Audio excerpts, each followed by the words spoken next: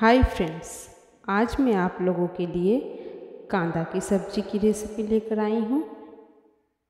ये देखने में बिल्कुल ऐसा ही लगता है। इसे बनाने के लिए सबसे पहले मैं यहाँ हाफ़ के जी के करीब कांदे को ली हूँ और इसके दोनों छोर पर काट कर इसके छिलके को उतार लूँगी। ये सब्ज़ी खाने में इतनी ज़्यादा स्वादिष्ट लगती है कि आप चिकन मटन भी खाना भूल जाएँगे। इस तरह से इसके छिलके को उतारने के बाद इसे आप अपने मन चाहे आकार में काट लें। इसके बाद इसमें पानी को डालेंगे और साथ में एक चम्मच नमक को भी। इसके बाद इसे मसल कर अच्छी तरह से दो से तीन बार तक धो लेंगे। इसके बाद दो आलू को भी इसी आकार में छीलकर काट लेंगे। अब एक मिक्सी जार को ले। इसमें तीन हरी मिर्च, दो कटे हुए प्याज, तीन से चार लौंग, इलायची और पाँच से छः गोल मिर्च।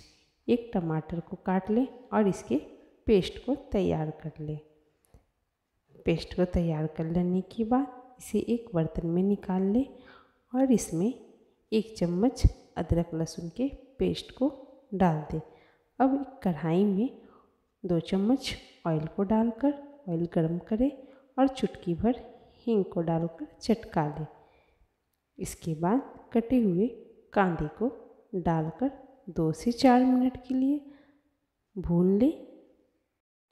अब कटे हुए आलू को डालें और पाँच से छः मिनट तक इसे हल्का लाल होने तक भून लें।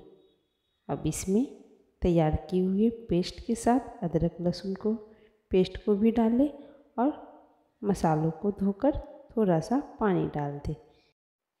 इसे मिलाने के बाद इसमें हाफ़ टेबल स्पून हल्दी पाउडर, जीरा पाउडर, लाल मिर्च पाउडर और एक टेबल स्पून नमक। इन सभी मसालों को डालकर इसे थोड़ी देर के लिए तकरीबन पाँच से छः मिनट तक ढककर पकाएँगे। इसके बाद गैस को मीडियम फ्लेम में रखकर मसालों को अच्छी तरह से भूनने के बाद एक से डेढ़ गिलास तक पानी को डालेंगे। आप चाहें तो इसे सूखी सूखी सब्ज़ी के रूप में भी खा सकते हैं, लेकिन ये सब्ज़ी थोड़ी ग्रेवीदार ही अच्छी लगती है। आप चेक कर लें, आपके आलू और कांदे अच्छी तरह से कुक हुए हैं या नहीं। अगर हो गए हैं तो इसमें चॉप किए हुए धनिए के पत्ते को डालकर इसे पाँच मिनट तक उबाल लें। देखिए, पाँच मिनट के बाद ये सब्ज़ी बनकर तैयार हो जाती है।